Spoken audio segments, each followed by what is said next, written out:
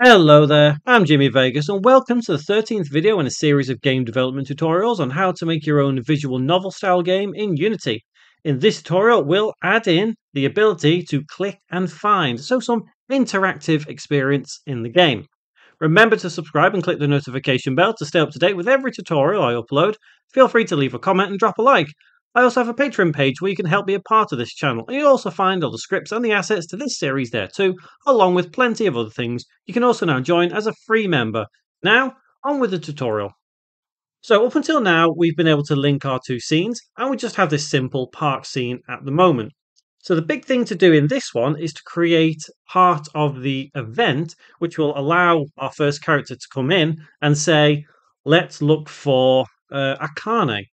So in order to do that, what we'll do is let's first turn on Kasumi Confused and let's turn on Fade In.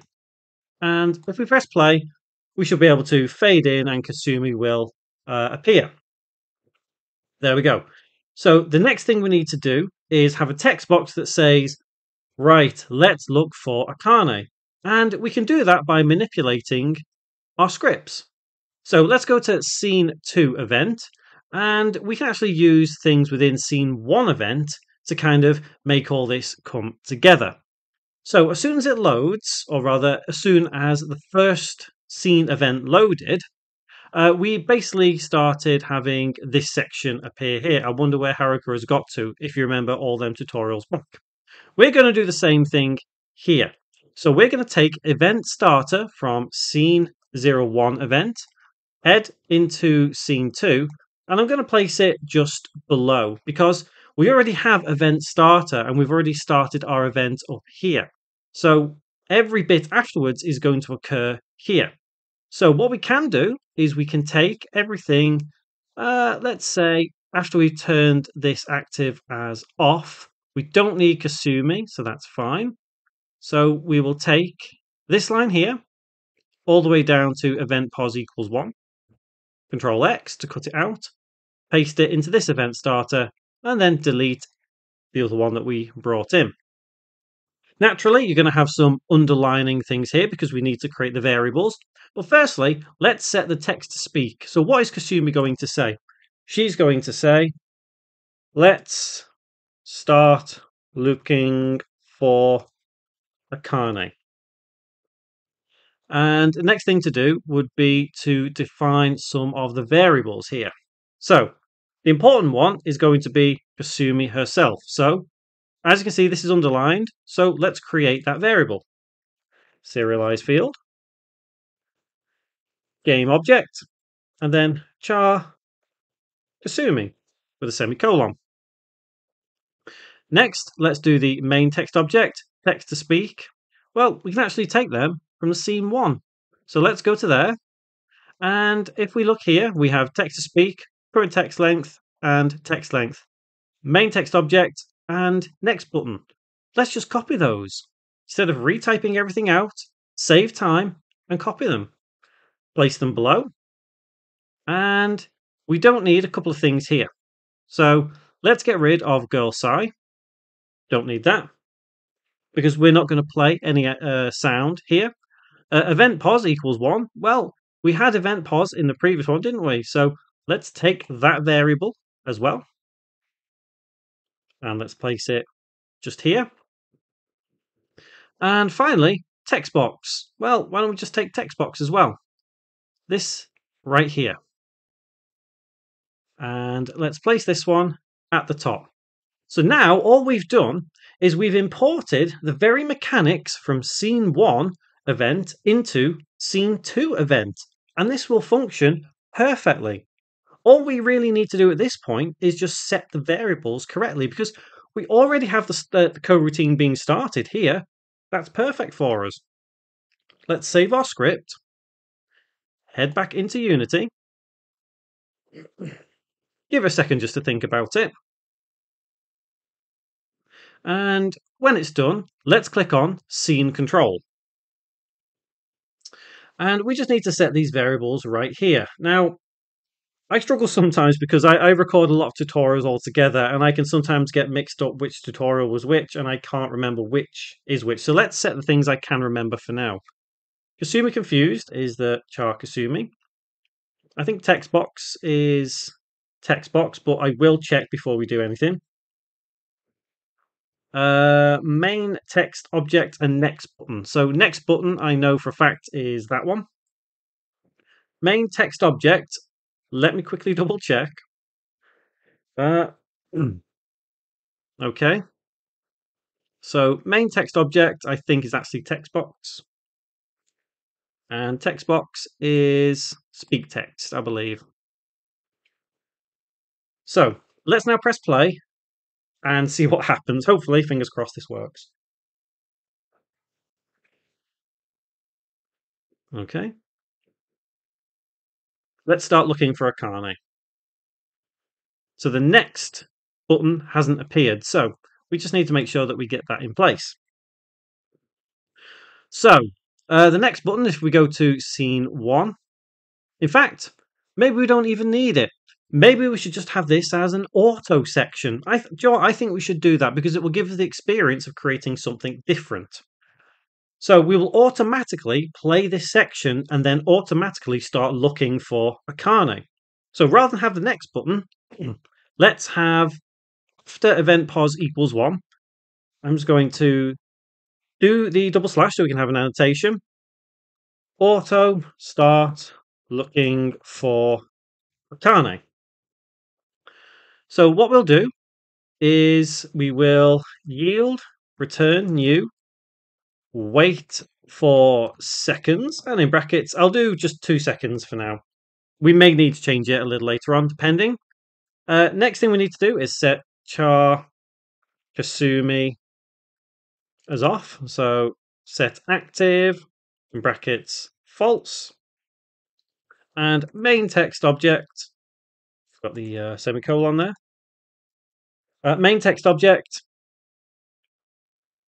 as set active and have that also as false. So let me save that. Let's go back into Unity. We'll make sure that after that has played, saying let's start looking for a, uh, Akane, that it does indeed disappear. And then we can start our little interactive section. So we've got our sequence of events in place. Cool. So far, so good. Let's start looking for Akane. And it's not disappeared. Why has it not disappeared? What? Uh, maybe we need to disable that next button. So let's get rid of that for now. Let's double slash that out. This is the great part about coding like this. You can always debug things and go line by line to find out what the problem is.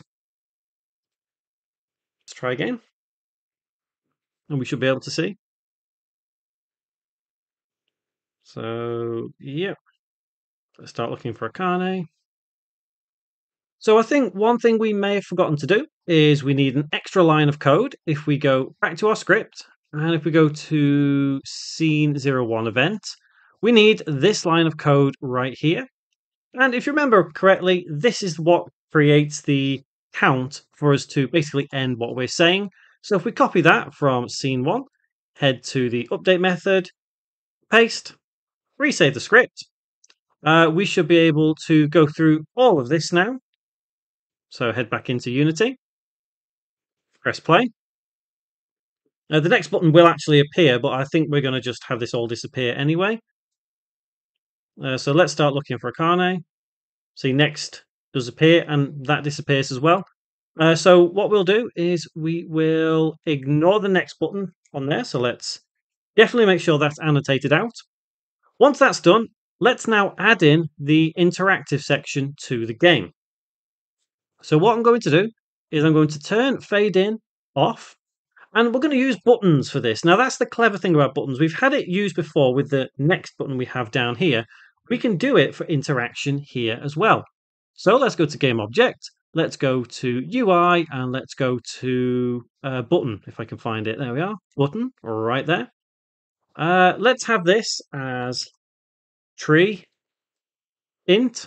In fact, I'm going to change that to tree interact rather than int because that could be uh, confusing. I'm going to zoom in a little bit and resize that. Let's move the button over towards the tree. And let's get rid of the text in there because we don't need that to be there. Uh, let's make sure that we have the tree interact button um, as anchored to the top left.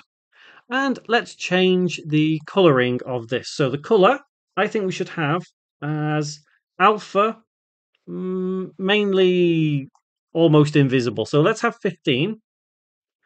And now we need to change so the highlighted color. So if we press play, let's make sure that we can actually hover over. So yeah, we could click that. That's not a problem. But we need to kind of hover over it. But that doesn't really matter because we can still click it. So we need to make sure that we have the, um, let's see, pressed color. Let's have that as much darker than what it is. So maybe 255. If you don't want it that way, that's completely fine. We can clearly see that there is something to interact with here. So you could, you know, just do that. That'll work just fine. Let's now hold control, press D to duplicate, and let's move it over here uh, behind this. What I might do is move Kasumi across just a little bit. And let's have this button just here. So there's going to be two places that we can theoretically interact with. Uh, we'll have this as house interact. Now, what we're going to do with these is basically make them appear after Kasumi has said, let's look for Haruka. Uh, sorry, Akane. So we need to turn both of these off and head back to our script and define them as variables. So let's say serialize field, game object, and we'll have tree interact, semicolon, and then serialize field, game object, and then house interact, semicolon. And that means down here, after we've set these as set active false, we can say tree uh, interact dot set active and in brackets true semicolon and then the next line will be house interact dot set active also true semicolon and save that script. So the idea of what we'll do is we will create another event that will say, oh, no, she's not here. So we can do the same sort of thing again. In order to do that, what we need to do is create an actual method for when we click the button.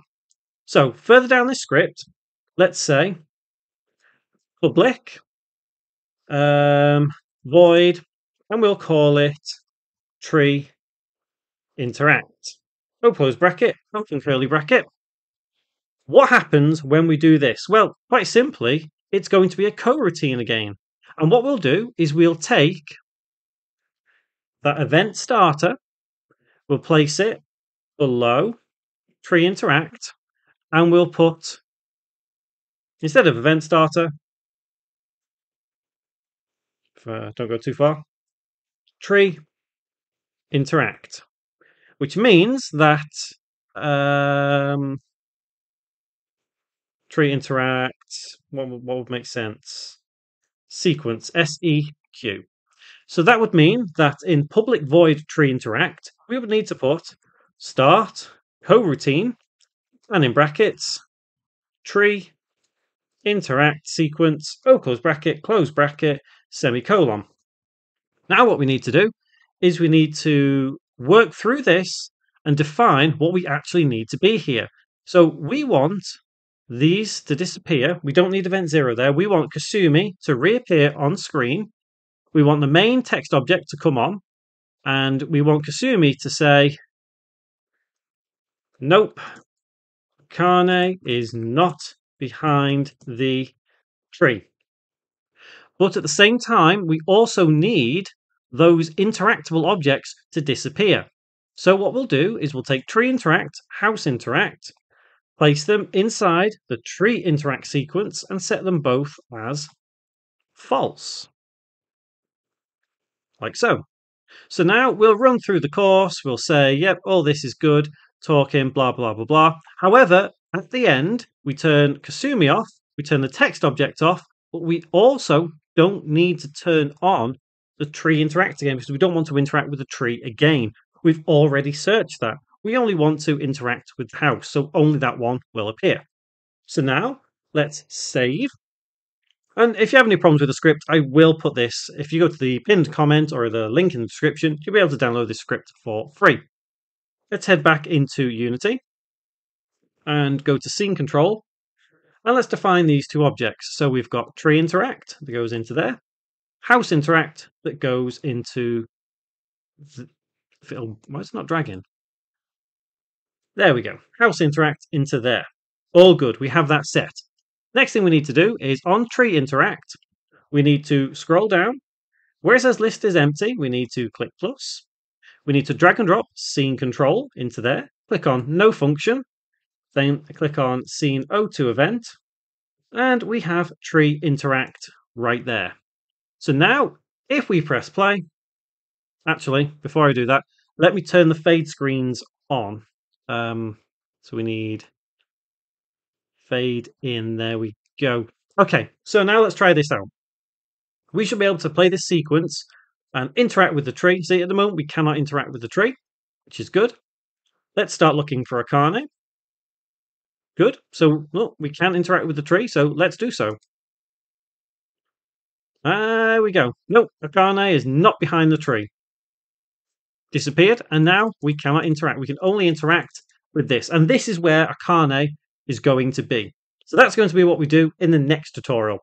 We'll create the second interactive event and we'll bring in the next character. So remember, don't forget that this scene is vital to how we actually create a game itself, the, the interactive element anyway. So make sure you subscribe and click the notification bell stay up to date with every tutorial still to come in this series, and I'll see you in the next one.